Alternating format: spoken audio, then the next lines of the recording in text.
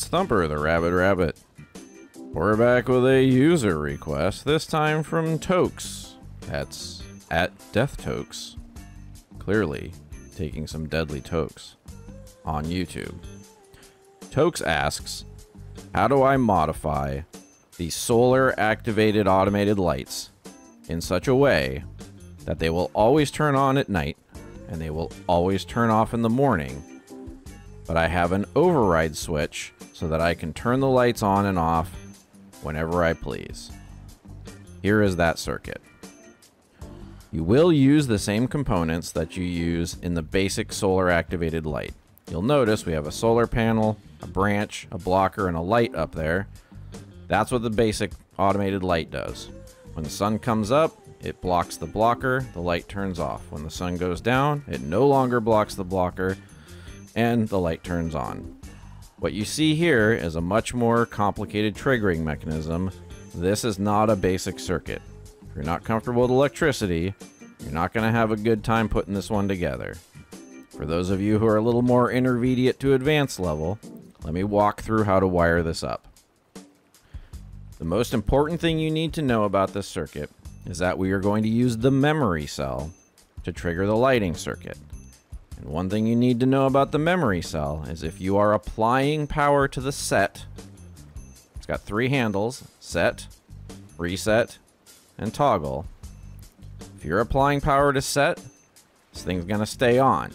If you're applying any power to reset, it'll stay off. You will not be able to use toggle if either of these have power. That's why we're gonna use some timers so that our signals to set and reset are only momentary pulses to turn the light on and off with the sun. That leaves the toggle available for any other input. I'm going to use a button for our example, but you could use, you know, if you've got light switches through your base at your different doors, you could chain them all up to the toggle and this will work the same way. All right? So let me show you how this is wired up. Taking the main power off this battery. We're going to take all the power out of the power out. We're going to run it into the memory cell. We're going to run the output. We will not be using inverted. Today we're using output to the lighting circuit. All of this power right here, when this is on, in this case all 47 units, can power your lights. So as many lights as you can run off of that.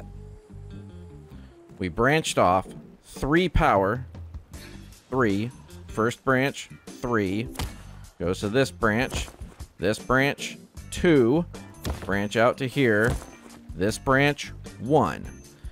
The net result there, this has one power, this has one power, this has one rust watt. Using the wrong words. It's been a while, guys. So you got one rust watt off of each of these one, two, three outputs that are open. We're going to use this to power our triggers. This one, one rust watt to this timer. One rust watt to this timer. One rust watt to the blocker. Alright. Now, the lower timer is going to pulse to trigger our reset. This timer turns off the light. This timer is going to go up to the set. The top timer triggers turning on the light. This turns on the light. This turns off the light. The blocker's output goes to the top timer. So when the sun goes down and this blocker is no longer blocked, it triggers the top timer. This pulse activates the light. When the sun comes up, this is the important part. This is tricky. We take the power out to this branch. You take the branch out, the first extra rust watt that comes off of here above, right now it's set to 16. So when the sun's coming up and that 17th rust watt hits, it's going to hit the branch out first.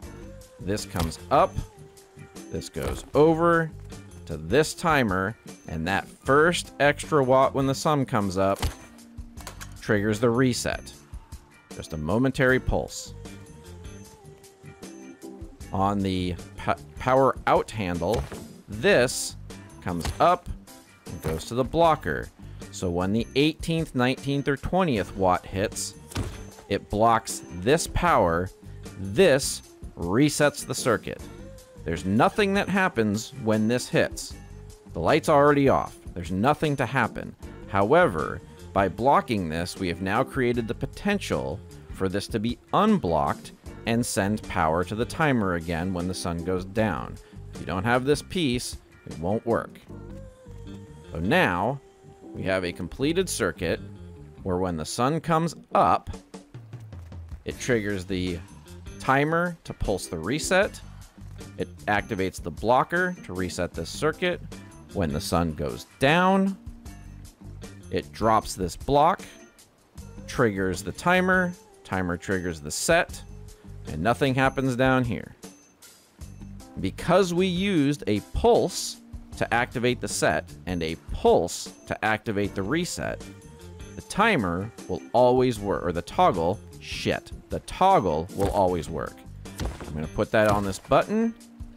Boom. Press it and the light turns on. Press it and the light turns off. There's your override, Tokes.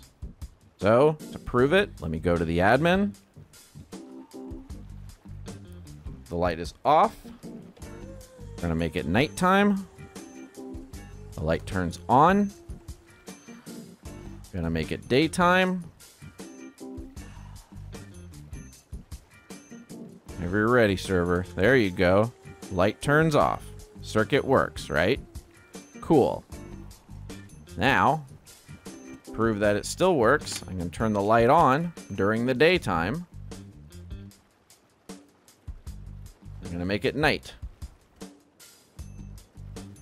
Top timer fires, nothing changes. The memory cell was already on.